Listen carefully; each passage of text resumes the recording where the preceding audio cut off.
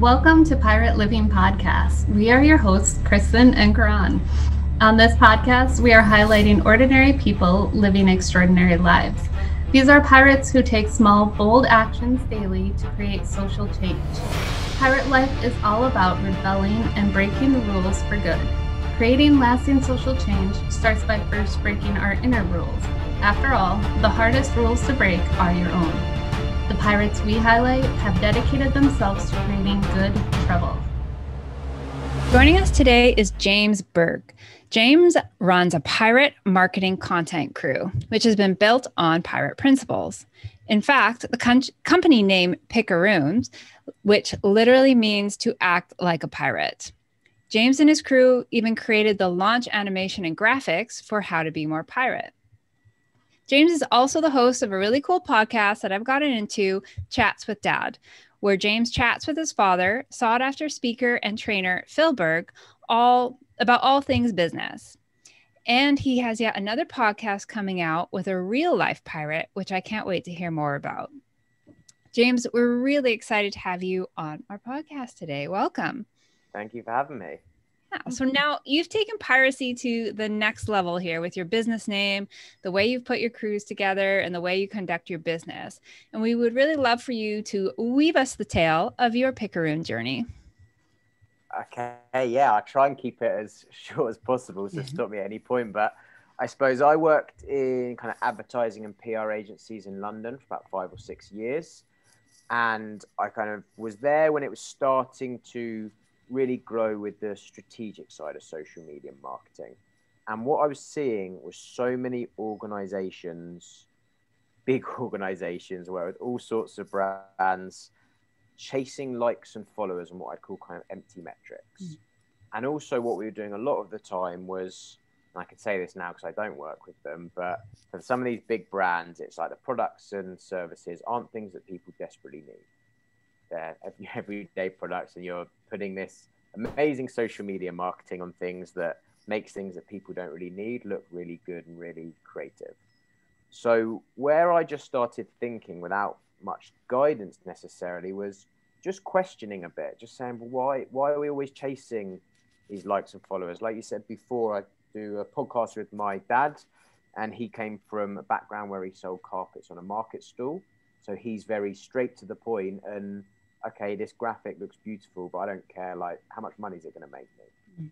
And that got me thinking more about social media and how it can be used for actions to whether it's money, whether it's actually changing behavior for charities in a kind of positive way. And it just kind of set me off on this journey a bit of kind of questioning the way things were done. Is there a better way? Constantly thinking I could present those solutions, but then seeing someone else do the solution earlier and thinking, oh, it's got to be a better way. And I was young, I was starting off, so I thought I'm probably just being a bit cocky, a bit again ahead of myself. Man, I, I can't be right with this. And then it just kind of moved into a point of I ended up writing a book. So, kind of without boring you on this stuff, I had some personal health issues. And that led to me being stuck on the sofa, not being able to be active for a while. And that led to, okay, what can I do to fill this time? And I basically wrote a social media ideas book. And it came from seeing that a lot of people, my belief was that there was a lot of very effective advice that was delivered in a very complex way all buzzwords. And for people like me that understood social media marketing, it was good and it helped us move forwards. But to everyone else, they wouldn't understand it. And likewise to other people, when it was more simple social media advice, that was also extremely ineffective. It was things like say good morning to your fans every day. Which if you've got Bob the plumber every day tweeting out good morning, good morning, good morning, good morning, it's too much. Mm-hmm. So I kind of found wanted to break the rule of social media has to be done in a really smart way and just getting straight to the point. I kind of found that middle ground, which was effective advice delivered in a really simple, easy to understand way. And that started with my book. And my book started giving me the confidence to kind of do a few more things. And that was when the book Be More Pirate came out. Mm. So before that, I'd always call myself a pirate more for the fun and games. And I like to jump around and cause a bit of trouble every now and then. Mm. Whereas that book came out, and it really helped me, as we've kind of spoke about before, of everything where you said before about breaking those good rules and causing that good trouble, it kind of gave me the permission to do that. That book, obviously written by Sam Conniff, and it just it was a load of things in there which I thought these are things I've thought, but I've never known how to put them in a more intelligent way or a more just straight to the point way. So things like the fact that freelance crews can work or remote working or the fact that actually why can't you have fun while doing business and why can't things be so stupidly efficient that actually they almost sound daft how easy they are and that book kind of formed on this journey of creating Picaroons. I always wanted to do my own thing. My aim was always to be able to work from a laptop from wherever I wanted, but I ne- didn't necessarily plan for it to be a company. And when I ended up leaving my last job, off the back of the book, there are a lot of people asking me to help them with their social media marketing. And my first client was a kite surfing lodge in South Africa. So I went off there for a month and really lived the pirate life, mm-hmm. worked with them. And going back to the pirate thinking of what we apply throughout the business is they had no budget. It was a friend of mine. He had the lodge. So I said, look, I know you have no budget for me to do these high level creative things, but if I create content for you on my phone, and I give you some basic strategy, that will be more effective than what you're doing right now. Whereas when I was in a big brand or a big company, sometimes you turn someone like that away. But I mm. got to go on all these amazing experiences in Cape Town with him and around South Africa, created content for him that was so simple, but then it instantly increased the amount of people booking him for his tours. And that's what really got me thinking of like, okay, I'm onto something here of we haven't got to do things the way that they're always done. And that really, that plus Sam's book really gave me the permission to go. I don't go out of my way to do things differently. And I wouldn't say that's the nature of the business, but it's more that we don't think what's the way it's supposed to be done. And this is what I believe the pirate mantra is. It's like, what's the best thing to do right now? What's the best thing to do? And that, those steps have just led to us doing very quickly in about a year and a half in about three or four months of launching, we end up working with Facebook. Mm. So we end up getting a project from them, which was like, okay, even though that's a big corporation and I want to work with all mix of companies, that gives us the credibility to get in more other organizations. And then that meant, okay, I now don't need to chase after big corporations because we've got that box ticked. And the way we're at now, as you kind of said before, is we're working with a real life pirate on trying to bring his story to life as potentially a Netflix film, a book. We're doing a podcast with him to help launch that. I've got the podcast with my dad. I potentially got a speaking company with my dad coming up. We've got something we're looking at in the NFT, the kind of crypto space, crypto art. And then on the real Picaroon side, Picaroons has formed into this kind of creative collective. Because what would happen is where I'd start off of giving people advice on their social media marketing, people would start saying, Well, now you've given me the advice, can you just run it or make it for me. And that's where I built out using the pirate analogy of the network to keep our overheads low, to mean that I could still work remotely and travel and do the fun things I wanted. I basically built out a freelance network of creatives, animators, videographers. They're through recommendations, they're people I've found online, they're people I've worked with in the past. A few of them still work for big agencies, but they just moonlight with me. Again, that was one of my pirate things that I knew that when you're in a big agency, a lot of the creatives are doing bits or jobs on the side for friends. So I thought, why not be open about that and kind of say that we do that? We obviously don't name them just in case they get in trouble, but we use them for that. And it's really morphed into this thing where we create content for people, whether that's any of those things we said, we can bring it to life. And it means we work with charities, we work with a lot of social enterprises. But then we do have a few big brands. We're currently working with a Hollywood animation studio. Just had a film come out called Riverdance. So we work on the film. And the real thing and focus for me and where I want us to grow and the, keeping the pirate spirit alive is like what you guys have said that is that you do a bit more of working with people who have an amazing story to tell and helping get that story out there instead of, as I said before, working with brands and products that people don't really need and convincing them they need it.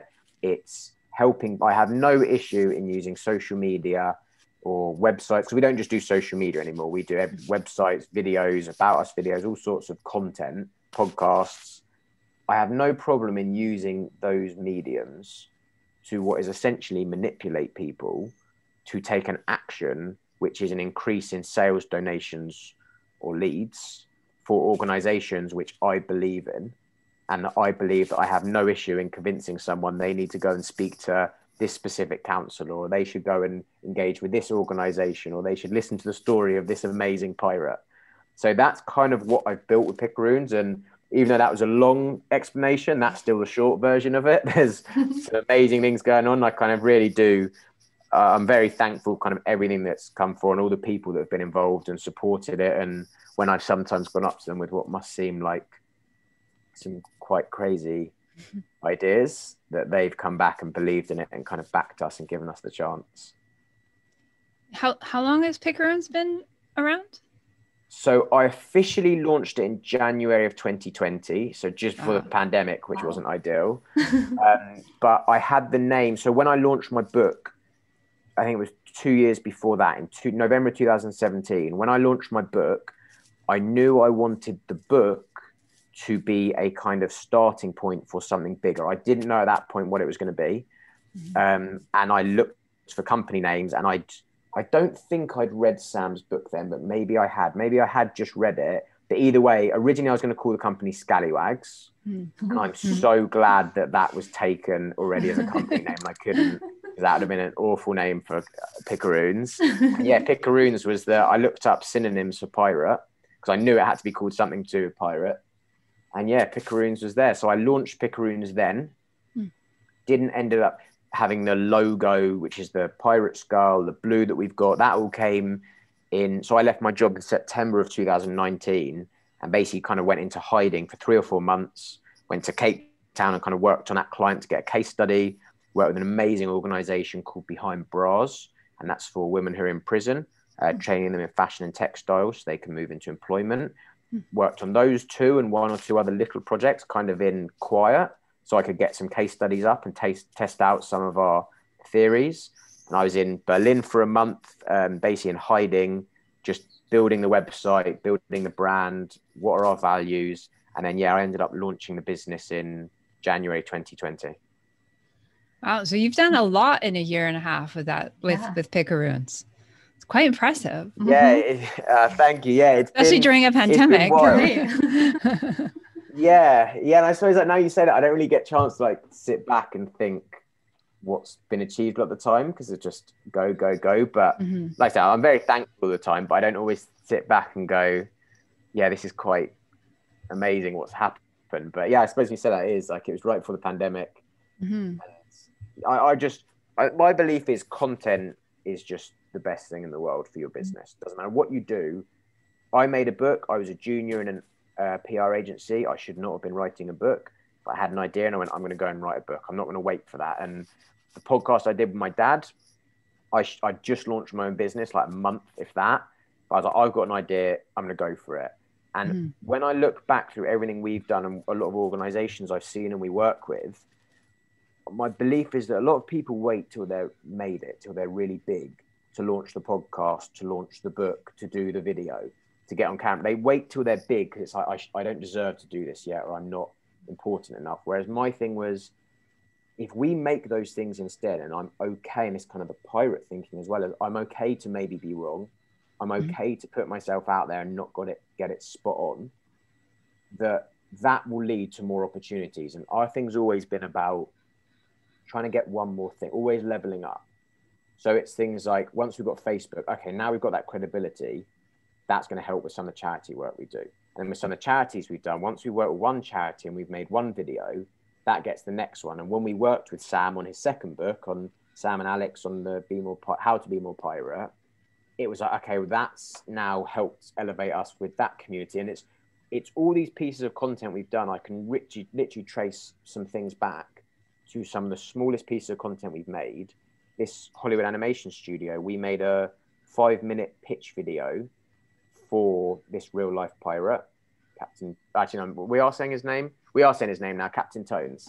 So for the real life pirate, we made a five minute pitch video to try and be used for that to try and get it in and show it to people. That came from the Be More Pirate Network because I'd worked with Alex before. She recommended us to Darren who was looking at that. So that came from that. So we did the work for Alex, which led to the work with the pirate. The work with the pirate, the video we made, we made it in a really creative, different kinetic text style, which is basically when the text flies in from all around. That video was then seen by a producer at this Hollywood animation studio who got in touch and said, I'd like to speak to you about doing something for us.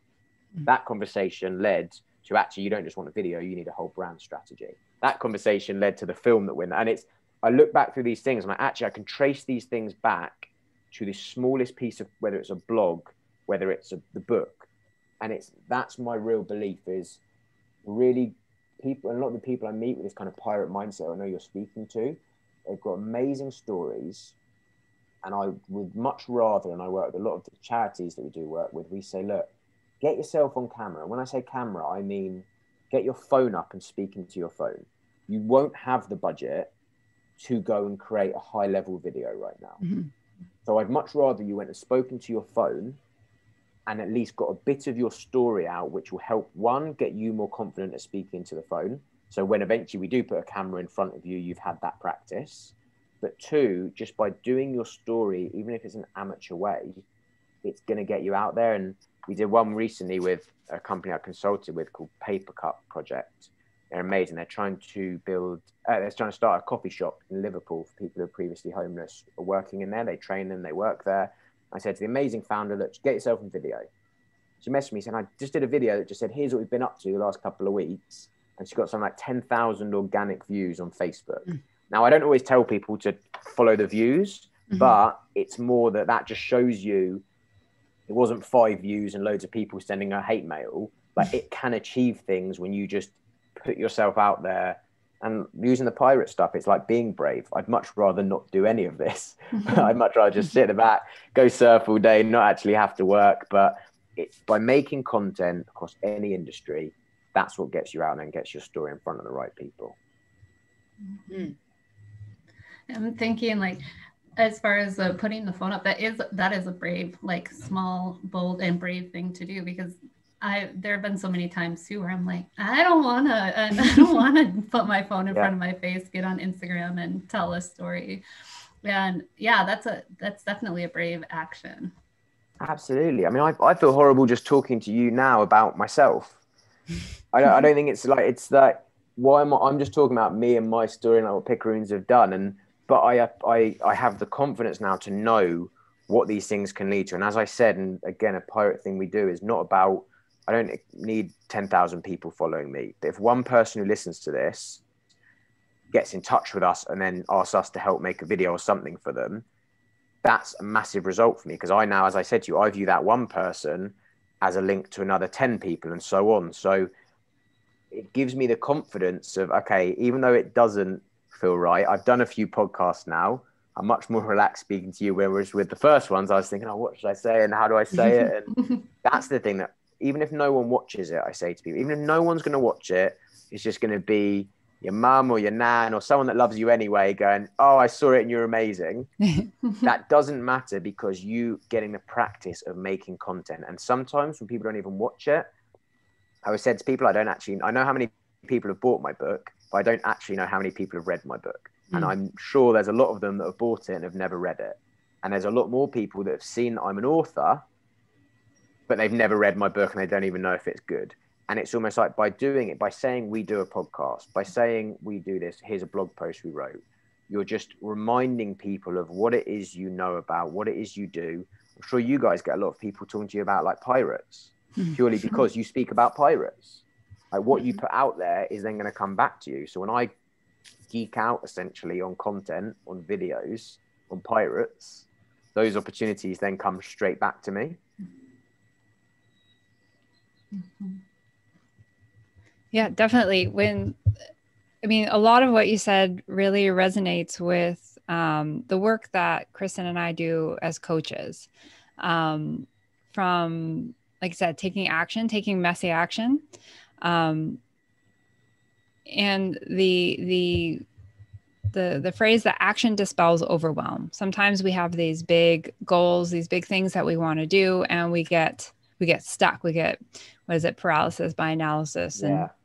we do nothing so our, we never we don't achieve our goals or or they take a lot longer than um, than we want them to because we we don't take the necessary action and we like you said you wait for it to be perfect um, or to, for the right time or whatever stars to align before you actually do the thing rather than just doing the thing and being okay with the fact that you might be doing the wrong thing but at least yeah. you're doing a thing right yeah and it's, it's progression it's progression like yes. i said i keep so where I'm at the moment, we'll kind of go surfing in this place that I live. And the same thing, I was talking with a friend the other day, and it was like, actually, as long as every day I'm progressing, even if it's not the perfect waves, you go out and you go, okay, it's not perfect, but where the waves, waves were messy and horrible, I then learn even more about how to handle those waves. Mm-hmm. So now I feel more comfortable in that for when there is that perfect opportunity, I'm then ready because I'm more experienced from doing that. And like you said, I love that. It's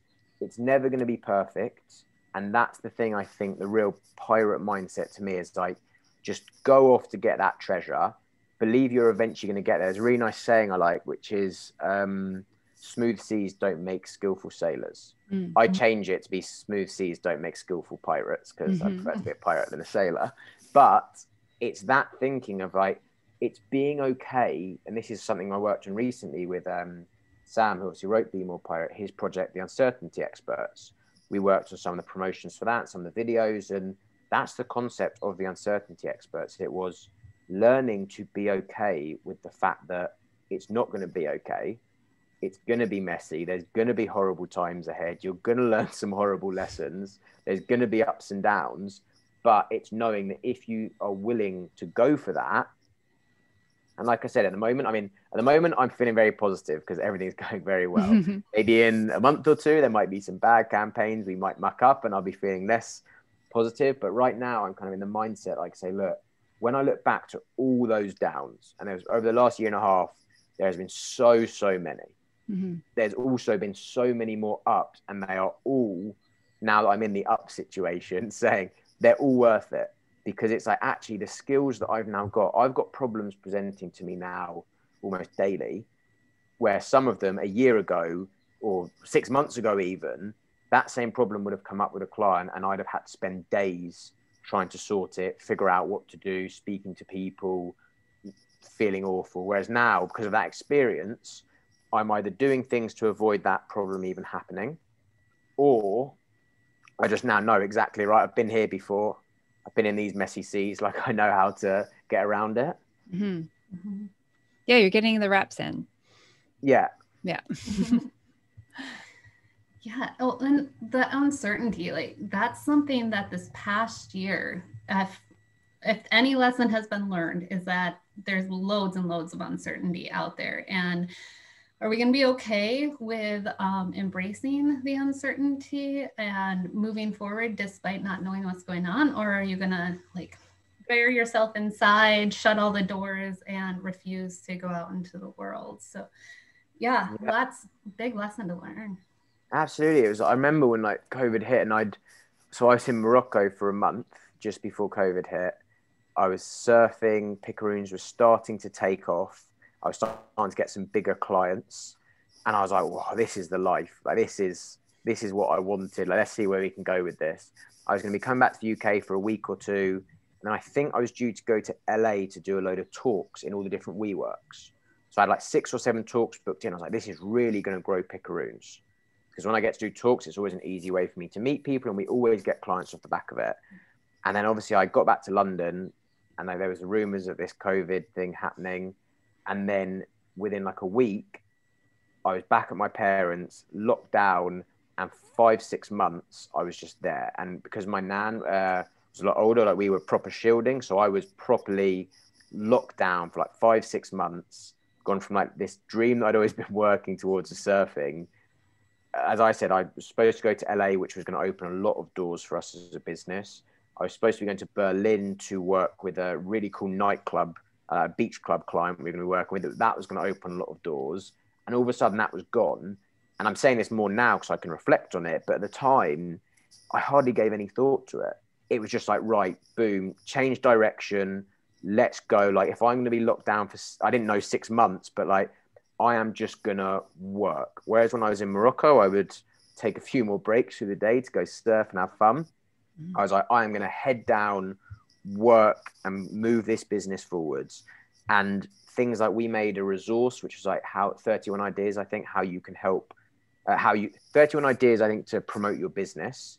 Another one was like 25 ideas on how you can help small businesses.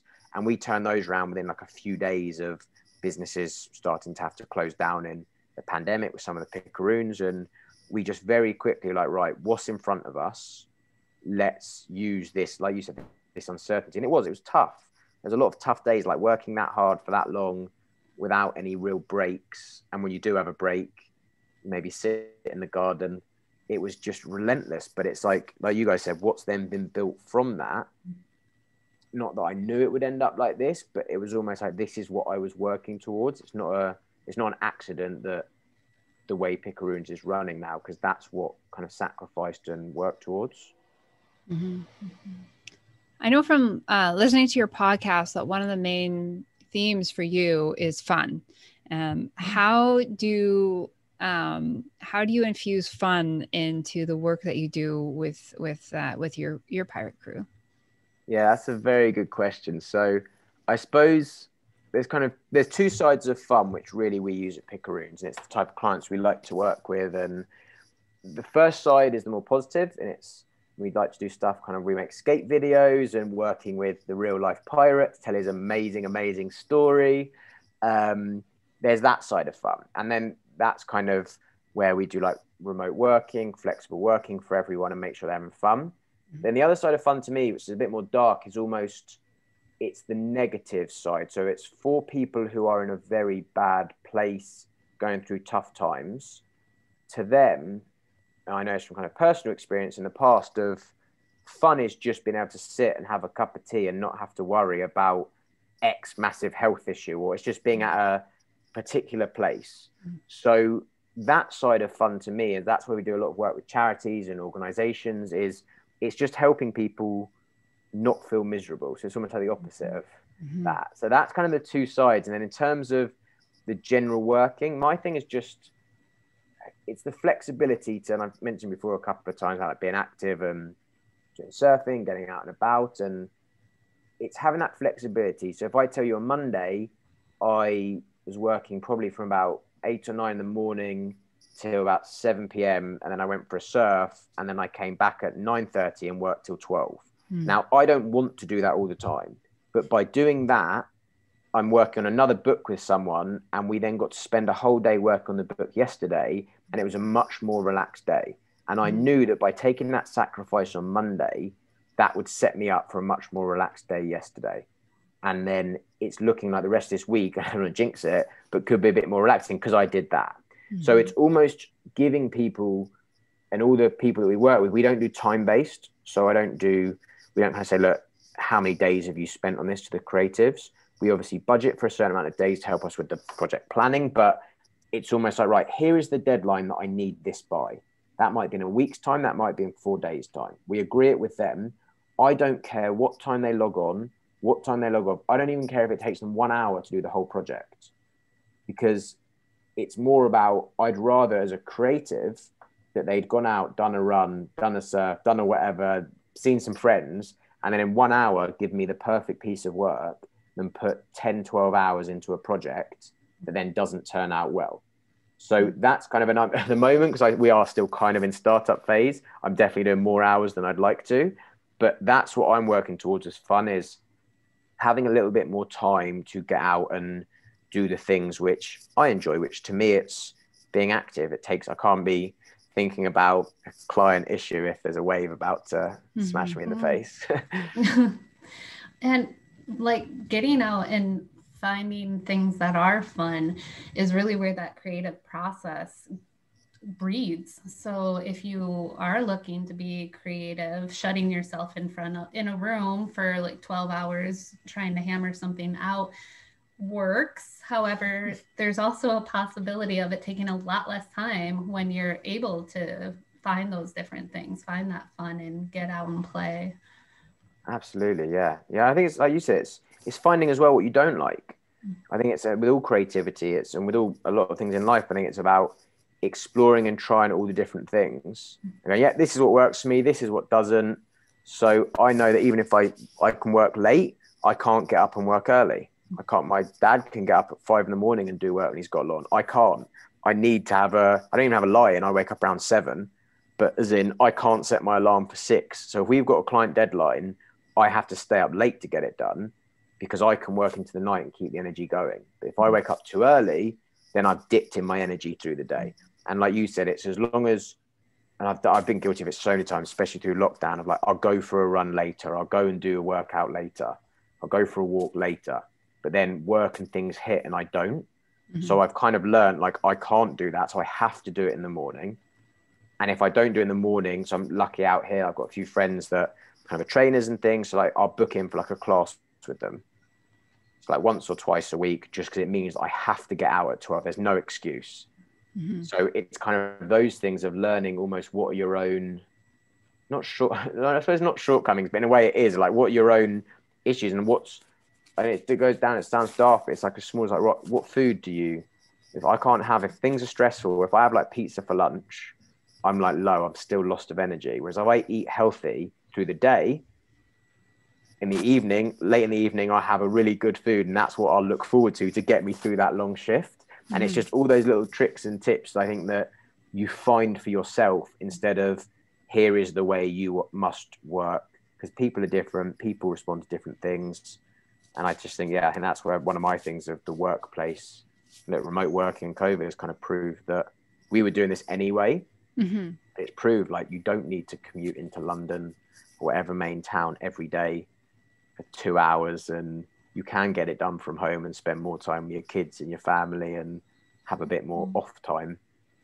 Yeah, and not having a physical location also allows you and Picaroons to work with people, um, have creatives from all over the world, really, um, so that you can pick, you know, get the best of the best uh, working with you if they don't have to commute to, you know, a brick and mortar building yeah. to do the work, right? So it gives you that flexibility, which sounds like a, a huge um, theme in what you're saying is really just having that flexibility and um, to to get things done with who you want to get on the project and when it needs to be done. So yeah, that's so true. You know, no one's ever realized that about picaroons. You're the first person who said that. So yeah, that's a that's a big thing for me. So it's not having to fly someone out. It means that if I if I meet I, I have it sounds weird the way I say it, but I have no loyalty to anyone in the crew because mm. they're all freelance. Mm-hmm. So obviously I'll fight a bear for all of them. I love them, they're amazing. Mm-hmm. But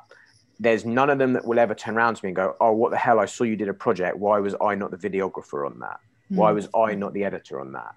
Because that's just not the way it works, and they all know this. Mm-hmm. So it means, like you said, that so out here in Portugal, like the there's a few local opportunities and I've met just through friends a few local filmers, and I really like their style, and they're really sorted.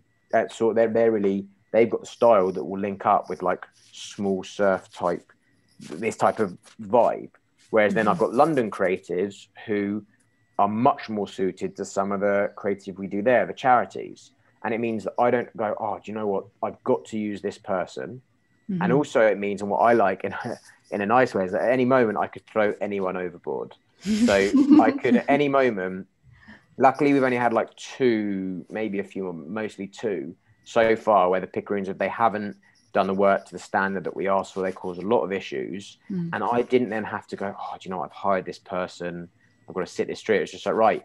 And when I say throw them overboard, it's not that horrible. I just don't bring them onto another project. Mm-hmm. But it means that it's a nice thing that you can very easily cut ties, but also with kind of pirate analogy, find new people for the crew because it means that it puts that kind of good pressure on the people in the crew to keep their game up because at any moment I might find someone better than them, mm-hmm. which so far for most of them I haven't. They're brilliant, but they know that. And again, that means they've always, and again, this goes back to my thing of it's being honest with like the nature of the nature of work. And what I found that with freelance is that if I'm just charging someone my day rate, there's no incentive for me to do the best job.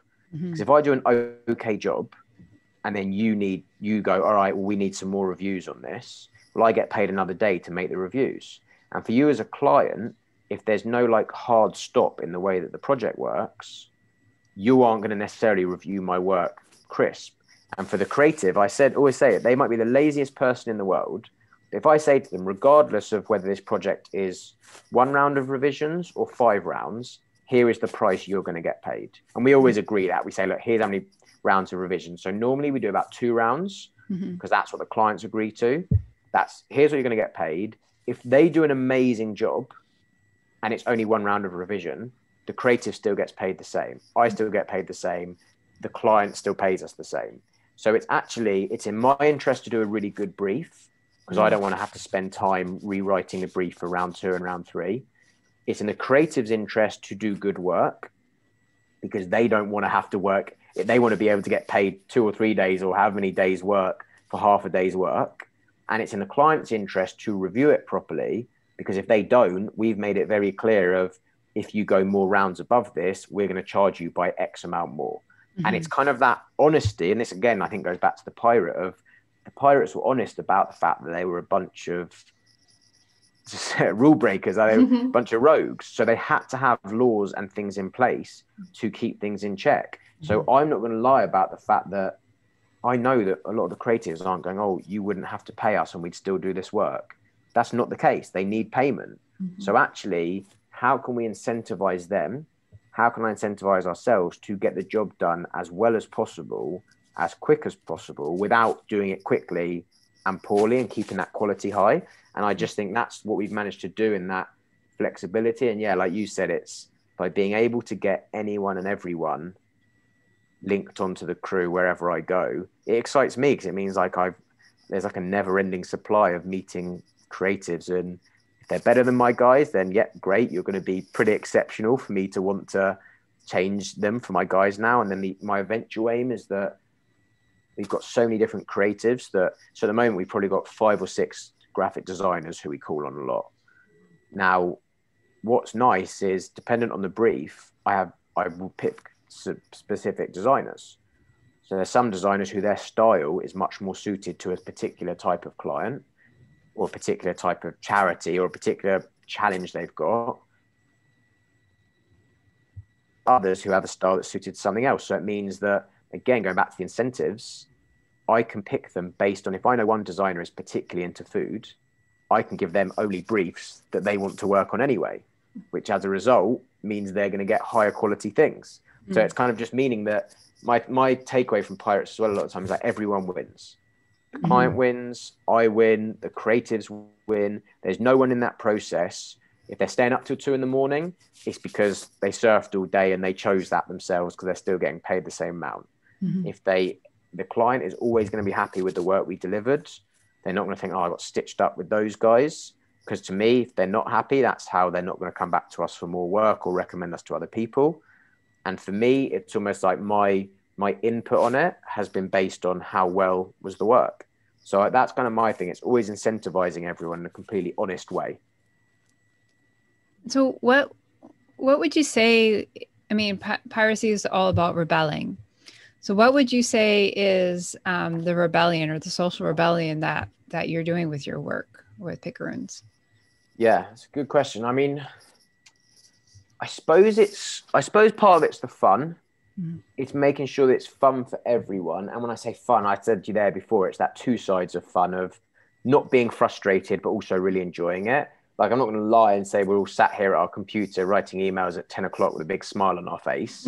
but it's that fact that you can talk about things in a light-hearted way.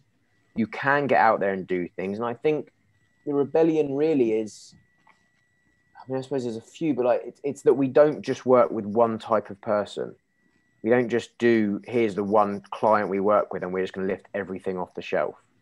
It's almost that thing. When I enjoy it when I speak to people who are from kind of I've known from more corporate backgrounds I've worked with in the past, and they're like, "Wait, so you live in Portugal and you're doing this. That was the first. But then it's like, mm-hmm. wait, so you live in Portugal and you're working on a kind of Hollywood film. And, and it's like this, it's kind of the rebellion. I'd say our rebellion is a lot more subtle. Our mm-hmm. rebellion is everything on paper about what we're doing shouldn't work as efficiently and as effectively as it has. I think it was Alex or someone said to us about it's almost like we act like a startup, but we're performing on the same level as big corporate agencies. Like our work is just as good, if not better than theirs, but it's more efficiently produced and we can keep that kind of small business feel. So I'd say in general, I don't really like to say that we've like we're massively rebellious. It's that ours is very subtle, if that makes sense. Mm-hmm. It's rebelling against the way that things are supposed to be done, but still doing them just as well and in just as big of a way.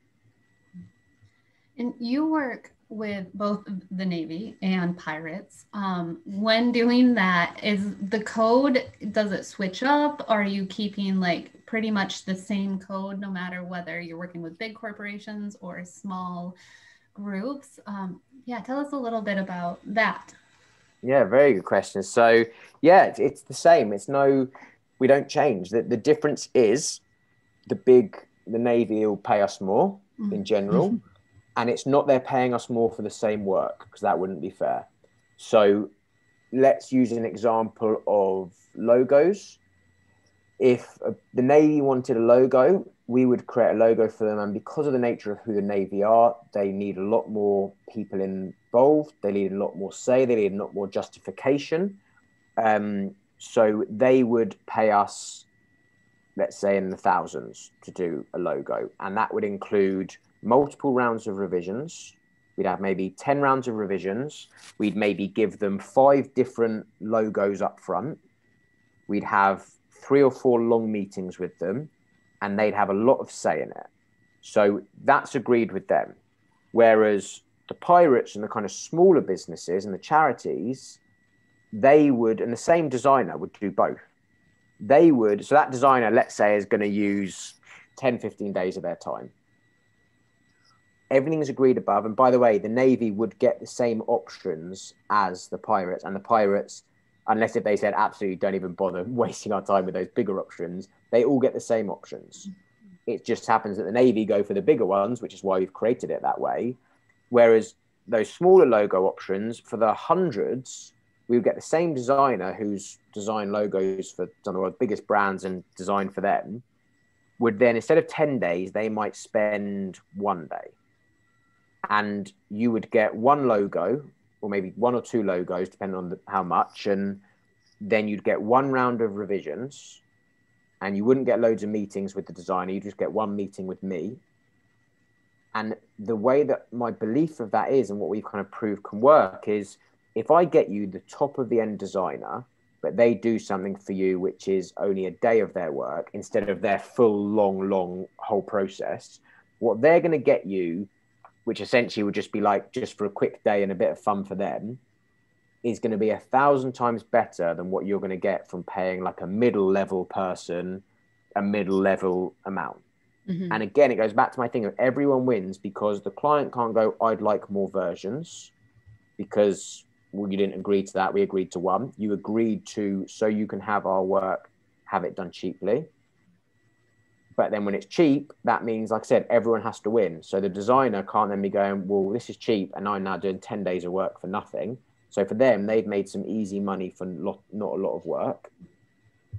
And for me, it's then less work to manage that because it's a smaller project. So that's, I'm, I'm going to be honest with you, when I first started launching that, I was terrified that I was going to get it horribly wrong. Mm-hmm. And so far, we haven't had many hiccups on that. That that works well because the using the pirate stuff you said it's it's laid out before you start working. It's mm. painted out here's how we're going to do it. So yeah that's we don't work with them in any different way. We don't give any any more special treatment. Um, it's more just happen as you would expect the navy have more money more supplies to put into getting the higher level of our projects. But likewise we have done some stuff for navy level corporations on the small pirate level because they go, no, do you know what? We trust in you. We know how you can get the work done, and we're willing to do that. Just in my experience, most people in the Navy on they're, they're so set in their ways they can't think like that. Mm-hmm. And by the way, when, when, we're referring to this, I'm not saying we've actually worked with the Navy. This right. is obviously the pirate, the pirate analogy of the Navy, the big corporations. And look, when I first started, when I'd left, I was fully in the Navy for years. I was probably trying to be too rebellious, like, no, we're not going to work the Navy ever. And but you realize that actually just because a corporation works a certain way doesn't mean there's not pirates within there. There's not people in those corporations who want to do something differently. And that's where I think we come into it is helping those pirate thinkers in those bigger organizations roll those things out. Mm-hmm. That's one thing, like with how to be more pirate too, that really pointed out all there are a lot of pirates within the Navy, like the looking at how can we change up corporate life.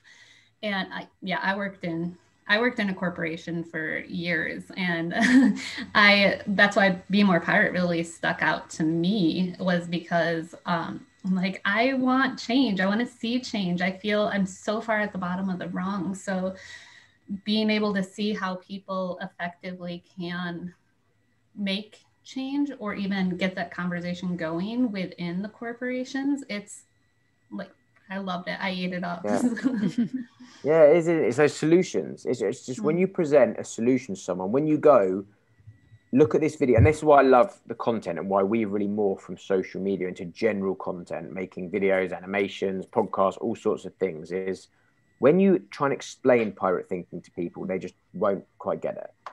Whereas when you go, look at this video, look at this, look at this, what we achieved, and people see it and go, that's incredibly impressive.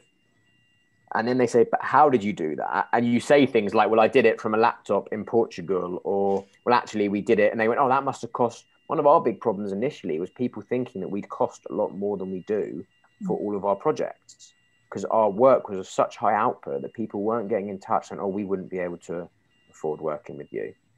I was like, no, that's that's not the case. Like actually, and especially for some of the cool charities and things, I'd explain what I just explained to you, and it's like, oh, actually, we can work together.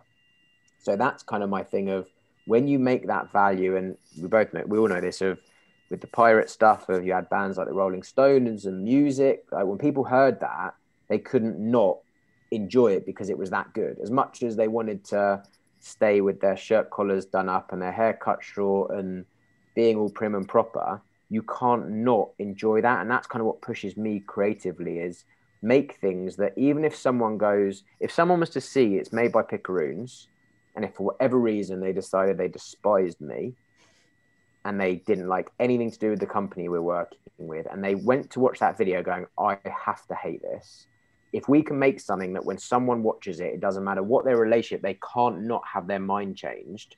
That's kind of my marker of success because that's what then allows you to get into the conversations of how we did this. Mm-hmm. And I have I had so many people, like I said, kind of when I first started this, not doubting me. Like I feel like I've had a lot of amazing people around, but more worried for me. Mm-hmm. People close to me were like worried, like, but you're going to brand your business up and call it pirate uh, that from so many people. Like your your logo's a skull. Our logo's a skull, which is also created in a way which has to be approachable. That's why it's got the cheeky grin. And this mm. was part of the brief to the designer. It has to be a skull because it has to be pirate, but it has to not be menacing. It has to be approachable, cheeky, and friendly. So I've had someone say to me, he said, Look, I'm just going to give you some advice, like, like really nice to and said, I really think you should not talk about the pirate things. I was like, okay, well, it, it, I appreciate that. Like, do you want to explain a bit more? And he said, look, maybe a better word would be. And I said, before you say the better word, can I just stop you? Is the better word disruptive? And he said, yeah. I was like, shall I join the list of 10 million businesses calling themselves disruptive mm-hmm. when they're not actually and they don't know what that means? Mm-hmm. I was like, the point for me is by calling ourselves pirates, we automatically deflect any of those, and I don't have a nicer way of saying it, stuck up, boring corporate people that I don't want to work with because if anyone is going to see the work we do and then see a skull and go, not for me, mm-hmm. then absolutely 100% I don't want to be speaking to them. Mm-hmm. But that's what I said. And what I enjoy is when people see the work we do, and the first question I get from a lot of more kind of serious people is, can you explain the pirate thing to me? and then when I do, they end up really enjoying it and wanting to be pirates themselves, and even more they like the business. But as we all know, it's on face value, they see pirate and go, oh, here we go. And I found it in advertising. There's a lot of companies who position themselves in these kind of punk, badass, DIY ways. But then when you work with them, they are a bunch of punks. They are drunk all the time, or their processes are useless, and you don't like they look cool, but I wouldn't think anything worse than working with them because you can't trust them. Whereas my whole thing was okay, the pirate, and this is what we all know from reading the book, but actually they're incredibly efficient. They were mm. incredibly smart, and they didn't need to scream and shout and say like me speaking to you guys about this today. It's probably the first time I've properly spoken about the way the business is run on any podcast or anything. In general, it's not what I speak to people about mm-hmm. because it's not our marketing point. People aren't going to buy from us because all my freelancers get to have a really nice quality of life. Mm-hmm. They're not going to buy from us because I go surfing a few times a week. Like they're going to buy from us because our work helps them achieve their business objectives. So that's what we speak about outwardly facing. Whereas I think you've got a lot of agencies going, look how punk we are, look how wild we are. But actually, under the hood, like things aren't running well. Mm-hmm. And vice versa, you've got a lot of corporates saying, look how creative and amazing we are. But actually, you go there and it's the same thing. And actually, they're not it's not a nice place to work. It's not fun. So my mm. thing's always been, can we do all of them? Can we be incredibly creative in our output, incredibly efficient and really good client services and fun to work and nice to work with? But then also we present ourselves as these kind of pirates who have a bit of a joke and don't take ourselves too seriously. I feel like that's the mix of that I'm yet to really see other agencies or anyone else who can fit all 3 mm-hmm. And I might be wrong. There might be someone listening be like, we can, and please do get in touch. but yeah, I'm yet to see any that fit those three. And to be honest, again, you know this, the way that I've built Picaroons, whenever I see an agency or someone that I really like, the nature of Picaroons is they're not a competitor, they're a potential partner. Mm-hmm. So it means I can just get in touch with them and how can we work together? How can we crew up? So it kind of mean it's a nice feeling. Mm-hmm. Yeah, and collaboration is such a huge part of of piracy, and you get to do that with the creatives that you work with, um, as well as like yeah, like you said, it's not other companies aren't necessarily competition, but how can we cooperate and work together, which was really cool um, way of doing business, right? And opens up more opportunities for everybody.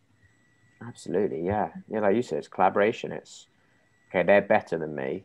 So how can I work with them? How can mm-hmm. I use the fact they're better than me to my advantage? Which, as back to I said, everyone wins. How can. I use it to my advantage, and how can I then help them? Mm-hmm. So it just means I never, I, I never worry about competitors because it's just not really a thing for me, and also because in my mind, every business is potentially my client. Every business needs marketing and there's a lot of businesses around the world and the nature of picaroons is we don't need to be doing business with hundreds and hundreds of businesses we just need a few who are the right ones to be working with so it kind of is a nice mindset to not be someone asked me recently about like competitors and i was just like i know who are the companies that i really respect mm. i know who are the companies that i massively disrespect but i don't know i wouldn't look at anyone and go oh they're going to take the work that we should have got because mm-hmm. I feel like there's so much work out there for us all. And if there's any that are that good, I want to figure out how can we partner with them and support them with our specialism. We've got that. There's some agencies who do everything that we do. And I've worked with them and they'll just be doing one aspect of what I need them to do, and I'll be covering another aspect. I said everyone wins. No one gets fussy about we normally do the whole process because they're good, we're good, and we can partner together. I um I'd really love to hear more about the podcast that you come you have coming up um, with this yeah. real life pirate. What's what's all about that? yeah, so so when we say we're doing a podcast with a pirate, obviously everyone assumes Somalian pirate, someone who's killed people, bad guy. It's the opposite. So if you've seen the film, I think it's called Made in America or American Made with Tom Cruise, where he was flying planes for Pablo Escobar. Mm-hmm. Um, and the government, the FBI, were the ones who put him in there. That's the most similar thing I can put to this mm-hmm. real life pirate. So, in general, he was employed by governments, by sheikhs, by people who weren't, he didn't hurt, wouldn't hurt a fly, but lovable rogue, did a lot of stealing, a lot of stealing of ships, and a lot of moving ships around. But again, when I say ships, I don't mean there was people on a ferry and he jumped on there and took them off. I mean this sheikh is having an argument with that sheikh. That sheikh has stolen the ship off the other sheikh. So Sheikh One, who had his ship stolen, has asked this pirate to go and steal it back. Mm. Like proper, the things that the governments don't want people to know they're doing that are a bit shifty, they would get him to do, Mm. which has meant that he's been arrested in all over the world and never been kept for more than a day or two because there's a government connection or someone who will help get him out. He's just an amazing human.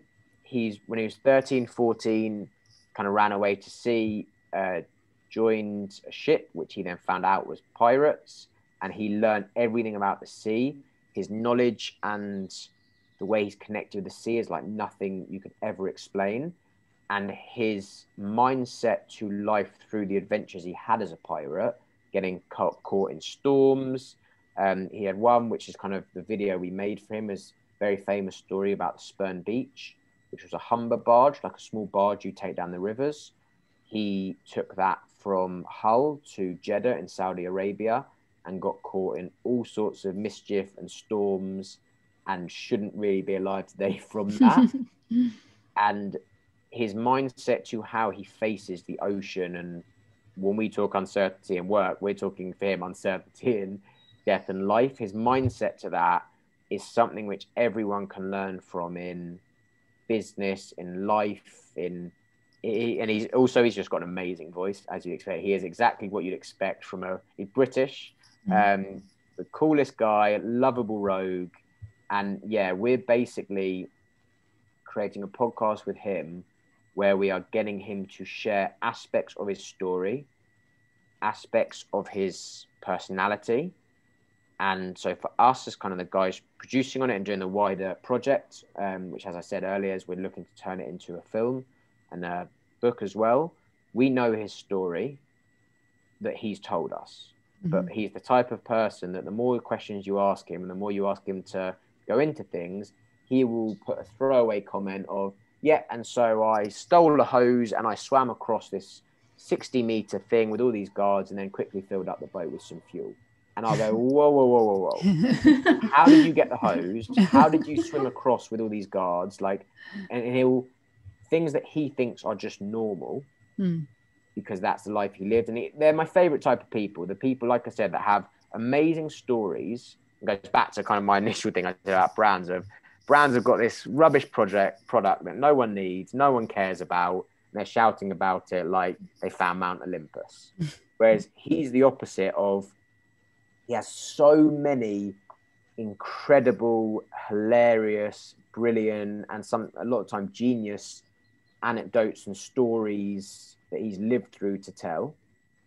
But he is very unassuming and thinks it's all just normal, and that we've all that we all know what he means about fixing a ship for five minutes in a hurricane. Just stood outside, having strapped himself by rope to the other guy on the ship in case one of them goes overboard. he think he- he'll speak about that. That's a normal thing. So then it's kind of our role as, and like I said, you guys are doing a great job here. I'm really enjoying this of some of the questions, but it's our job as the podcast interviewers to get him to always reveal more. And he Mhm. is just one of those rare people that you know, the further you probe and the more questions you ask, the more gold is just going to come out of him. So we're filming that at the moment, we're creating it, and we're hoping for it should be August that we're Hmm. releasing that. And it's going to be called Original Pirate Material. We'll be having our eye out for that for sure. Yeah, I think you guys are definitely. Yeah. Yeah. And yeah, tell us um, where can our listeners go to find more about you, more about Picaroons, um, yeah, and learn learn more. Yeah, so Picaroons, so you can go to Picaroons underscore on Instagram. We're kind of quite active there. Um, if you search up James Berg, B E R G on LinkedIn, I'm very active there as well. Um, then obviously our website, picaroons.co.uk. We're finally having that updated in the next few weeks to actually have all the work we've done over the last seven or eight months, but we've still got all the work that we did last year. And you can get in touch with us through any of the channels there. Kind of always happy to chat to people and see if there's a way we can help with those sales donations or leads. As I think I've covered, there's a lot of different things and ways we do that. Um, and then, yeah, if you're interested in the podcast, so if you look up Original Pirate Material on Instagram, you'll be able to find the pod, uh, the page there. Same for Facebook, and soon we'll have the podcast coming up there. and then the podcast I've got with my dad is called Chats with Dad. You can look up Chats with Dad, I think, dot Buzzsprout. It's on Buzzsprout, this or chatswithdad.com. I'm not quite sure what the website is actually we have for that, but basically wherever you get your podcast on all the channels, if you search up Chats with Dad, you'll be able to find that. Um, what else? There's a few things. So the other one's my book. If you'd like to read my book, 104 Social Media Content Ideas to Increase Sales, that's available on Amazon. Um, and yeah, I think I'd probably bore you if I went on with all the other links. that'd be enough to at least if we're if you're interested enough, get started. Mm-hmm. And as I say to everyone, give Be More Pirate a read. It will explain yeah. a lot more of some of the things I'm saying about pirates in a lot mm-hmm. more detail. Yeah, and completely in, intrigued by this whole conversation. So we're good. I'm glad. Thank you for having me. It's been really good fun. Um, so, one more question How would you recommend our listeners going about starting their own pirate life um, and taking some small, bold actions in their life to make change? Yeah, it's a really good question. I mean, I think my, my thing is about, I speak about this a lot on the podcast, of looking at what you want your life goals to be, not your business goals, not what step, where do you want to be? So, when I was 19, I decided not even by a time. I just said, I want to be able to work from a laptop and I want to be able to go around and travel and take break through the day to go surfing or snowboarding or skiing or whatever and then go back to my work. I want that freedom. And then when I look back, that's never that hasn't changed at any point. No matter all the uncertainties and horrible things that have thrown at life as it does to everyone, that's never changed. And I think by having that focus, when I look back, all the steps I've taken, all the options I've had, the option I've always taken has been leading me towards that. So mm-hmm. it's most simple. I knew I needed to have a skill. A skill is what allows you to work with different organizations in different ways from a laptop. I was like, okay, well, how do I let people know that I've got a skill? Well, I need to have an excuse to talk about my skill. And that was where the book came in. And then that was where all my focus was where do I go with the decisions? Does Picaroons become a social media management company? Well, no, because if I do that, then I probably need more of ongoing client relationships and an office and a physical location. Mm. So I'd always say to people, of map out what do you want your life to look like? As in, my dad says this. He's like, how many kids do you want? Like, how many family do you want? Where are you living? Like, what's your perfect day? Mm-hmm. What's your lifestyle? And then once you've mapped out what does your lifestyle look like, then map back from that and go, what steps do I need to take? And I just think, really, the pirate thing is just, it's, it sounds cheesy, but it's like never accepting that there's no other option. This was never not going to happen to me. If it was going to be when I was, I'm 30 now, but if it was going to be when I was 40, I was 50, like it was never not going to happen that I was going to work from a laptop and be able to travel around. That was mm. always, always the thing. And I think it's just once you know that and it's really what you want, it means that every time you get hit back, knocked back, told no, change that, you're like, okay, fine, here's a different option that's going to get me to that. And that's my real belief is like have something that you genuinely some and it's got to it's almost got to be a bit unrealistic. And mm-hmm. that'll never happen. It's got to be a bit like that. And then you'll find yourself, like you said, be brave. You you then will be brave because you know what that end result could look like. That's kind of my sorry, I know that's not the shortest of answer, but that's like that's basically what I believe on the pirate step. It's having that yeah. dream. Here's a life I want, but that life, not the biz, not the business, not the job, the lifestyle. Because I think a lot of people want to be a CEO. They want to have a company. I'm telling you, as much fun as I have, like even just having a company, there's a, a lot of tough stuff where I think, oh, this is a bad idea. Like this is tough, and it's that. But nothing changes in my head of okay, but this is allowing me to live this life I want. Mm-hmm. So that's fine. Whereas I think a lot of people go, I want to be a CEO because I'm a CEO. And then do they want to be on holiday and they can never turn their phone off? Is that mm-hmm. something they thought about? Is that part of their life plan? Mm-hmm.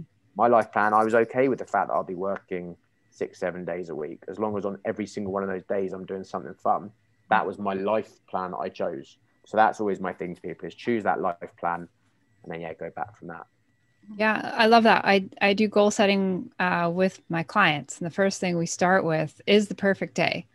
What does your perfect day look like? Well, I wake up in a cabin in the mountains. Cool. You you live downtown in a city right now. So first we got some work to do, right? Love it. Yeah, yeah, exactly. And and and I can't I can't remember what the word you used, but I I use the word um, unreasonable. Like let's be unreasonable with our goals, right? That's so good. I'm stealing that. It's the Yeah, pirate way. right. Yeah, exactly. That's so good. Yeah, be unreasonable with it. Be like, Yeah. there's no way I'm ever going to do that. Yeah. Love that. Yeah, when you set the goal, you should be so far from it. That's the mm. thing. I suppose it's your thing. It's like be. Do you know be BHAG goals? Yeah. Big, hairy, hairy, audacious audacious goals. Yeah. exactly like set the goal where you're like like how would when i think back to I I haven't really had to think about this, so thank you for making me think about it. when I think back to when I set the goals, it was like I didn't even have. I was studying, I think PR. I had like a knee operation or shoulder operation or something, so I couldn't. I wasn't being active. I'd. I was, and I was like, right, I want to live somewhere where I can surf most days, or, or snowboard, or whatever it was at the mm-hmm. time. Like most days, I can be active. I can also jump back and forth between the UK and wherever I am if I'd like, or any country, and never have to actually be away from home. So when I mm-hmm. say traveling, it's not like I'm a digital nomad. Like I'm living here in Portugal now. That's where I've settled that. But then I jump back to the UK, and when I think back to that, that this is so far removed from where I was at. This is so unreasonable, as you said, Mhm. for me to have ever thought this could have been my life. But by setting that, committing to that, and then always seeking those steps, that's what's got me here. Yeah, Yeah. I'm going to use that more now. So that's I actually changed my answer to be your answer. My answer is now you need to set unreasonable goals and just go for them. That's my new answer. Well, and that's it's the pirate way, right? That's that's your compass. We're not we're Yeah. we're, we're off the map. We're living off the map, um, but we've got our compass that helps us to you know set the direction of where we're sailing, um, which is which is awesome and so aligned with you know everything pirate. Yeah, yeah. Love it. So yeah, the unreasonable, that's very good. That's what you need to do is be unreasonable with your goals, Mhm. Mhm. but not with your clients. Nope. so we have one final question for you. and It's a very important one. Do you know any pirate jokes? Do you want any pirate jokes? Mm-hmm. Um, oh, there was one I heard recently that was so good. Oh, that's gonna annoy me because I heard it the other day. um, no, I think I know the punchline, but I can't remember the joke. Oh, no. No, Well, you can I did. Google one and we pretend? We So? Otherwise, you did. I don't know how write you're planning on cutting this, but I'm a Google one. I'm gonna find it, Okay, and then you can cut this part out where I'm actually looking for the joke that I wanted to sounds find. good. You you have a lot more faith in our editing abilities than we do. yeah, I'm gonna find it. or we leave it and we just laugh. We just laugh. Here it is. Okay, okay. right. So, what is a pirate's favorite doll? No idea. No idea. Barbie. but I also, and one of the things, if the pirate, if Captain Tones is listening to this, that's like a stereotype that is obviously Hollywood films of like, Arr. but it's still a great joke. it So yeah, hopefully we can cut the part where I had to. Hopefully you can just cut a lot of that podcast anyway. just where I was talking. no. No. it and just keep the It main all points. stays. All gold. All stays. nice, so guys. Well, thank you very much. I've had a lot of fun. They're really good questions, and it's always fun talking about and with pirates. It was awesome to have you. Learning so much more about picaroons. Mhm. That's always the aim.